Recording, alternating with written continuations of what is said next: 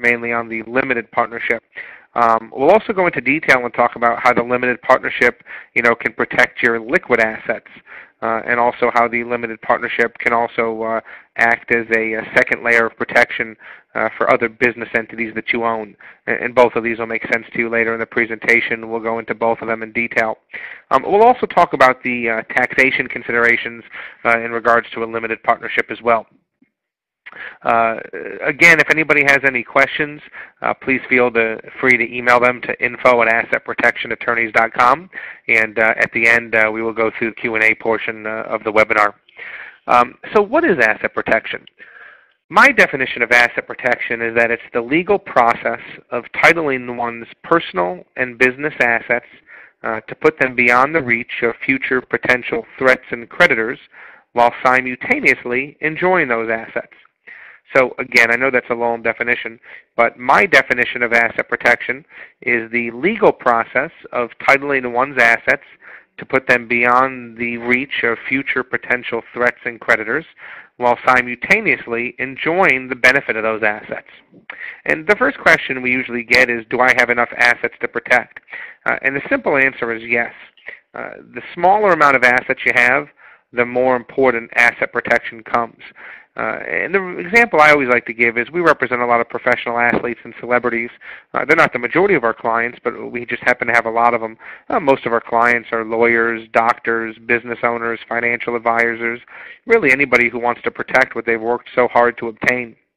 And the example I always like to give is take one of my professional football players who signs a contract for $30 million. Well, if that football player is sued for $5 million, he's certainly not going to be happy, but he still has 25 million left. You know, contrast that with a uh, regular person who has maybe saved up a couple hundred thousand dollars over their lifetime. You know, if they're sued for a million dollars, uh, they're going to be wiped out, and it's going to be very difficult, uh, if not impossible, for them to recover from that. So I say the less you have, the more you need protection.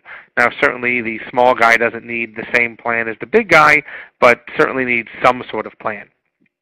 And a lot of people say, well, what if I already have a plan? You know, every single year laws change. Uh, and you need to make sure that your plan is always updated on a yearly basis. And, and I'm not necessarily saying there will always be changes every year, but it, but it's something you at least want to consider and have reviewed. So I recommend to all my clients that you know once a year, just like you go for a physical or a medical checkup, uh, I recommend you go for a financial checkup and uh, just have someone review your plan, uh, make sure it's up to date, has all the right asset protection clauses, all the right anti-creditor clauses, because again, laws change in this field. So a lot of people say, well, why do I need asset protection? And you'll see I always like this cartoon that I've been using lately. It's uh, two lawyers talking, and one saying, I say sue, and the other one saying, anyone in particular. And a lot of people usually laugh when uh, they see this, but uh, you know, unfortunately, this is the truth. You know, just like we're getting together to educate ourselves and talk about ways that we can protect ourselves, well, the lawyers get together and talk about who can we sue next. Is it going to be the business owners, the car manufacturers, the drug manufacturers? You know, who can they sue? Uh, there's over 100 million lawsuits every single year, and that number is only growing. Uh, in today's terrible economy, a lot of people are losing their jobs. Uh, the people who are lucky enough to keep a job are, are making less and less. Uh, the issue we have there is that there's so many attorneys, and so many attorneys that will take your case for free on a contingency basis. So uh, this person can go to any lawyer, get their case taken for free, doesn't have to spend a penny, only cost them a couple hours of time, and if they win, they get thousands and thousands of dollars, uh, a lot of times tax-free money. Uh, there's a 1 in 4, I, I, keep meaning to update my presentation, but uh, there's a 1 in 3 chance that you'll be sued in the next 12 months. So one out of every three people will be sued next year. Uh, the average person and company is sued about five times over their lifetime. So uh, if you're an individual, on average, you can be sued about five times over your lifetime. If you own a business, that's 10 times, five for you, five for the business. Now, I have clients that have never been sued, and I have clients that are sued literally dozens of times on a monthly basis. So these are just the normal stats. Uh, there's a 50% chance of divorce, and a lawsuit can cost you tens of thousands of dollars even if you win the case. Uh, unfortunately, uh, the United States has made it so easy and cheap, if not free, uh, for anybody to bring a case in the legal system, but it makes it so costly to defend one. You know, there's so many lawyers out there that you can get to take your case for free because uh, they will take a percentage of the winnings if they win the case. But in order to defend your case, you're going to have to hire an attorney. So even if you win your case, there's a chance that you're still a loser because if you've spent tens of thousands of dollars on attorney's fees, even if you win, you've still lost. And I tell people the trick isn't making money, it's keeping it. You know, it's a lot easier to make the money than it is to keep it. And the challenge that I give to all of my clients is that for every 60 minutes you spend making money, spend 60 seconds thinking about how to protect it. Well, a lot of people say, well, what about liability insurance? You know, isn't that enough? Uh, and my answer is, uh, I don't sell insurance, but uh, I'm a big fan, uh, and I tell my clients to buy as much insurance as possible because it's cheap and it helps you sleep at night. Uh, but at the end of the day, understand that uh, you know the insurance companies are the only to have their names on the big buildings. Uh, you know they are for-profit companies. They're not there to pay all your claims. If they paid all your claims, they would go out of business. So while I think it's great to have insurance, uh, you can't solely rely on it. 70% of lawsuits are not covered by insurance. Uh, you know, my father always used to say, "The big print giveth, the small print taketh away." Anybody who has an insurance policy knows there's about a half a page of things that are included and about 60 pages of exclusions. So there's a good chance that your insurance won't cover what the lawsuit is. Uh, your coverage may be inadequate. You know, you might have $250,000 in coverage, but if you're being sued for a million bucks, who do you think has to come out of pocket the other 750? Your insurance company might go bankrupt. Now, if I would have said that years ago, you guys would have laughed me out of the room. But today we have big banks going out of business, Fortune 500 companies going out of business, who's to say that the uh, insurance companies won't be next?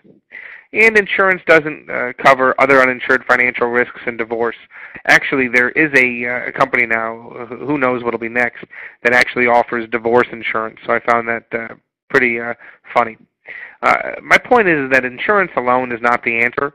You know, you need your own asset protection plan to supplement your insurance. I call it the belt and suspenders approach three maxims of asset protection planning. Number one, protect yourself before you have a problem. You know, I can't stress this enough. Asset protection is meant to be proactive. You know, you don't buy health insurance after you get sick. You don't buy car insurance if there's an accident. Make sure you put your asset protection plan in place before something happens. Start with a basic plan. Add firewalls as needed. Um, a lot of people have read the books that we wrote on asset protection and will come to us and say they need an international offshore asset protection trust. And a lot of times they don't. And I'll have to spend an hour kind of unselling them on why they don't need it. Um, you know, start with a very basic plan. Start with an inexpensive plan. Start with a simple plan. You know, as your assets grow, your plan can grow as your education grows, your plan can grow. But there's no point in putting some difficult, expensive plan into place if you're not going to utilize it correctly. And most importantly, don't look for one magic bullet. Uh, you know, asset protection is not a one-size-fits-all. Uh, everybody's potential uh, assets are different. Everybody's potential threats and creditors are different. So what might work for you might not work for me and vice versa. So make sure you have a customized and individualized plan for yourself five killer mistakes to avoid. Number one is hiding your assets. Asset protection is not about hiding. It's not about secrecy. It's about protection. Uh, with a good asset protection plan, you should be able to tell anyone and everyone where your assets are. They just shouldn't be able to get to them. Now, I'm not telling you to go stand on the top of a mountain and tell everybody and shout, you know, what you have and where it is. But again, you have to understand that uh, in asset protection, you should put the plan in place, assuming that one day you'll be deposed under oath. One day you'll have to fill out a financial affidavit under oath, and you never want to perjure yourself. So again, don't hide your assets. Protect them. Number two, don't title your assets to straws. So many people come in my office and say, oh, don't worry, Mr. Presser, I'm being sued, but I've given everything to my best friend or my brother-in-law. Well, what would actually make you think that your best friend or your brother-in-law have less financial problems than you? You know, if they're sued, uh, the creditors of them could take your assets. If they're divorced, the spouses of them could take your assets. So don't ever go title your assets to straws titling your assets to your spouse. We see this the most with our doctor and physician clients.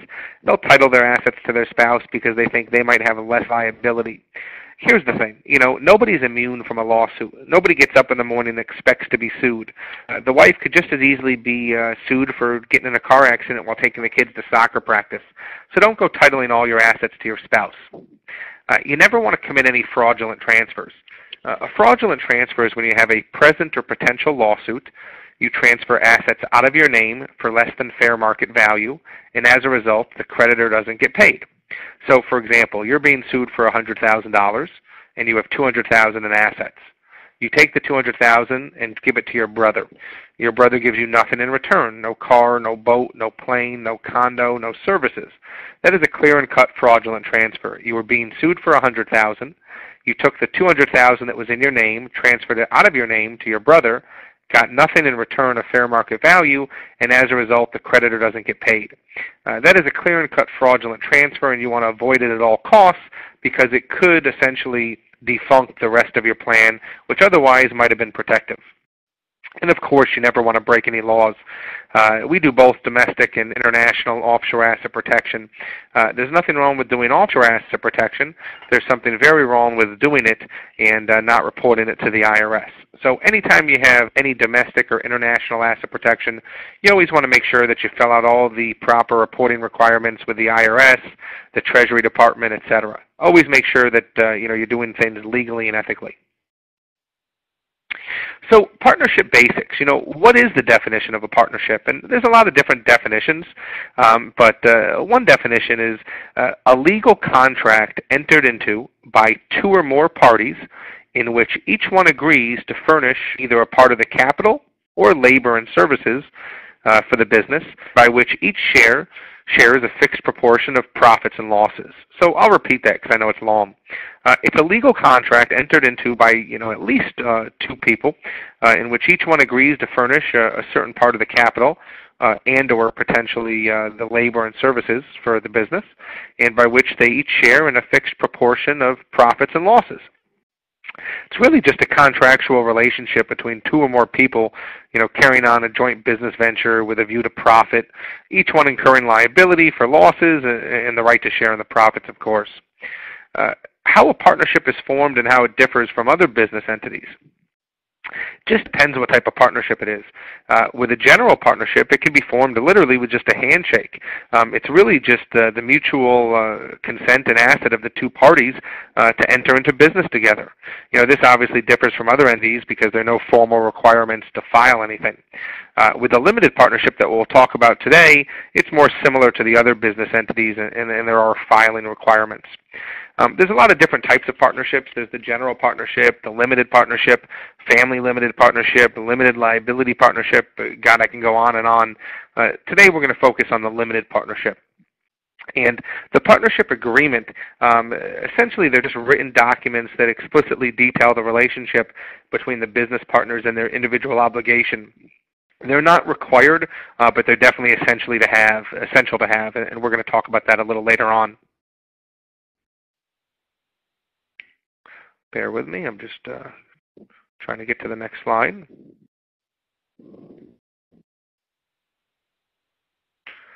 So how do you form a limited partnership? Essentially, in a limited partnership, there's two partners. And I like to draw my limited partnership like a house. So you have the square on the bottom and the triangle roof. Uh, there's two partners in a limited partnership. You have the general partner, which is the top of the roof, and the limited partner, which is the bottom of the roof, always owns the minority, usually anywhere from about 1 to 9%, and the limited partner always owns the majority, usually from about 90 to 99%.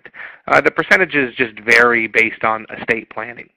Uh, but just to kind of recap, I draw the limited partnership like a house, a square on the bottom with a triangle roof. Uh, there's two partners. There's the general partner and the limited partner. Uh, the general partner is the top of the house, the triangle roof and the limited partner is the bottom of the house, the square foundation. General partner usually owns the minority, 1 to 9%, depending on estate planning, and the limited partner usually owns the majority, uh, 90 to 99%, uh, just depending on estate planning. Um, and here's the interesting thing. Uh, unlike in a corporation where if you own 51%, you're the decision maker, that's not the case in a limited partnership. In a limited partnership, it doesn't matter how much a limited partner owns. They can own 99.9%. It doesn't matter how little a general partner owns, they can own 1%. The general partner is the only one who can make any decisions regarding the partnership. So let's give an example. Uh, if uh, me and John own a limited partnership together, and uh, John is the 1% general partner, and I'm the 99% limited partner, and there's a million dollars in there. Well, technically, I'm entitled, I legally and ethically own 99% of that million dollars. So I own $990,000. Uh, legally and ethically, John only owns 1% of that million dollars, which is 10%. However, since I'm the limited partner and John's the general partner, I have absolutely no say. I cannot get any distributions. I can't touch a penny unless John says so, because only the general partner has any control over the assets of the partnership. With this being said, with great power comes great responsibility. So what you guys might be thinking now is that you want to be the general partner. Well, I never like a client to individually be the general partner because with great res responsibility, power comes great responsibility, and general partner is 100% personally liable for any debts, obligations uh, of the business. So what I always like to do, um, especially if money is not an issue, is create another company, uh, whether it's a trust, a corporation, uh, LLC, uh, to act as the general partner. And uh, of course, you can own and control that company. So indirectly, you could be the general partner, and indirectly, you can make all the decisions. But you never want to personally be the general partner because then you have uh, unlimited uh, exposure to personal liability. So a lot of people want to know, how does the limited partnership protect your liquid assets? And the limited partnership is actually the most protective entity you can have in the entire United States to protect your liquid assets. There is nothing stronger in the United States that you can do uh, rather than a limited partnership to protect your personal assets. The reason being is that if you have your assets in your personal name and you're sued, well, they can take it, they can freeze your bank account. If you have your liquid assets tied up to a limited partnership, it's not in your name. So just like you and I are separate people, you and your limited partnership are separate people. Well, you have you and I have different social security numbers. You and your limited partnership will have different socials and tax IDs. So if you're sued and you have $100,000 in your personal account, they could take it. If you're sued and you have $100,000 in your limited partnership, they cannot take it. Uh, if they beat you in a case and they depose you under oath or give you a financial affidavit, we talked about this earlier, asset protection is not about hiding or secrecy, it's about protection. And of course, if asked under oath, you'll tell them that you have money in a limited partnership. However, they have no rights to inspect the books of the limited partnership. They cannot force a distribution. Uh, they can't interfere with the business. They can't do anything to get to those liquid assets except one thing. Uh, the creditor can get what's called a charging order. And essentially, what a charging order states is that if a distribution is taken from the partnership to the debtor, well, then the creditor can stand in the debtor's shoes and take the money. Pretty much makes sense. If your money's in a limited partnership and you're sued personally, they can't get to the money unless a distribution is made from the limited partnership to you. So while the money's in the company, they can't touch it. When the money comes to you, they can touch it. Common sense. With that being said, who's going to make the decision if the money comes to you? Well, we talked about this earlier in the limited partnership. The general partner will make the decision on if the money comes to you. Who's the general partner? Partner? It's some company that you own and control. So obviously you're not going to make any distributions when you have a creditor there. That way they can never get to your money. Um, also, uh, you can get to your money. There's a lot of different ways you could take the money out. You could potentially take it out as a loan or a wage, uh, which is not affected by a charging order. Uh, you might even have the limited partnership, you know, uh, create a new uh, company like an LLC, transfer the money from the limited partnership to the LLC, and pay all your bills from there. You know, that way it never even goes to your personal name. Uh, a lot of different variations of what you can do, but the point is, is that your liquid assets can be protected by using a limited partnership. The limited partnership can also be used as a second layer of protection. Um, for example, let's say you owned a business. Let's say you owned real estate. Let's say you owned a boat you never want to own any of those in your personal name. Number one, because if you're sued personally, somebody can take it. Number two is if there's ever an accident with the boat, if anybody slips and falls on the property, they're allowed to sue the owner, and you don't want them suing you as the owner. So anytime you have one of those assets, you always want them in a protective company, uh, like an LLC or a corporation, uh, just some sort of protective entity. Well, the limited partnership can not only hold your liquid assets, however, they wouldn't own the real estate or the boat or the business directly.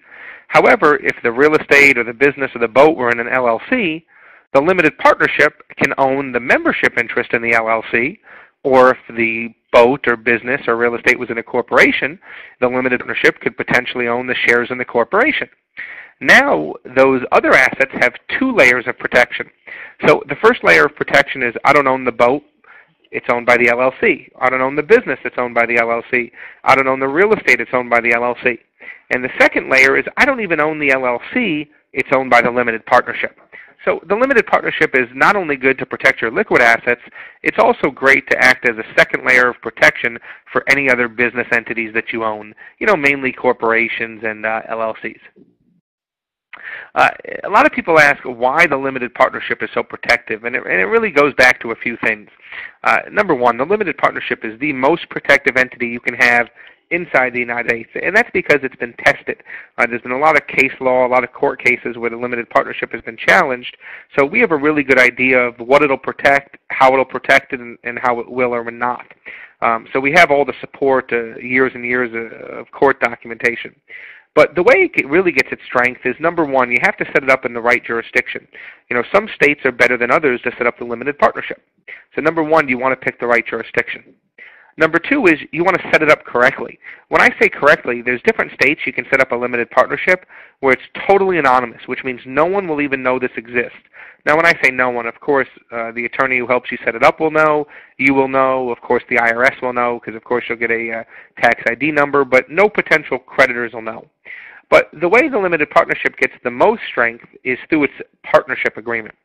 Uh, you really need to have an individualized and customized, tailored partnership agreement for the limited partnership with all the asset protection and anti-creditor clauses. And when we draft them, they're, they're tailored. Sometimes they're 20 pages, sometimes 40, sometimes 60. But depending on what you're trying to accomplish, you always want to make sure that you know you put as uh, much uh, protective clauses in there that are beneficial to you as the debtor and uh, not beneficial uh, to the creditor. And uh, just bear with me. I'm getting to the next slide.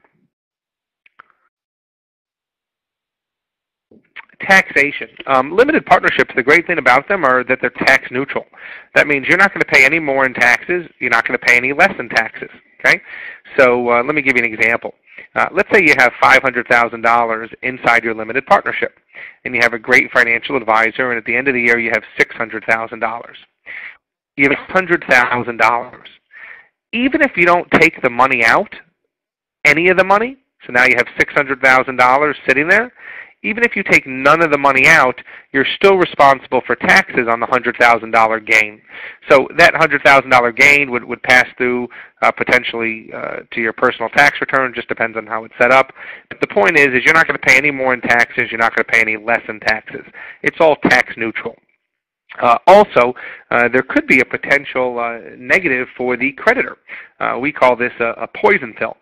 Uh, if a creditor gets a charging order against you for $300,000, well, we know he can't get the money that's in the limited partnership unless there's a distribution. We know that there's never going to be a distribution because the general partner, which is a company which you own and control, is never going to make that distribution. Uh, you'll never make that.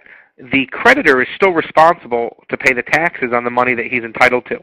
So when we when we had that example where there was 500,000 there, and then we made another 100,000 to equal 600,000. Even if no money was taken out, you would be responsible for paying the taxes on the $100,000, probably at a cap gain rate. No difference for the creditor. So if a creditor has a charging order against you for $100,000, even though they don't receive the $100,000, there's still a very good chance uh, that they're going to have to pay the taxes on the money that they'll never received. You know, just puts the client in a, in a really good bargaining position. You know, the whole point of asset protection is if it's a frivolous lawsuit, you know, you don't want to pay anything. Uh, if it's a legitimate claim, you know, if you can settle for five, ten cents on the dollar, then we feel like we've done our job correctly.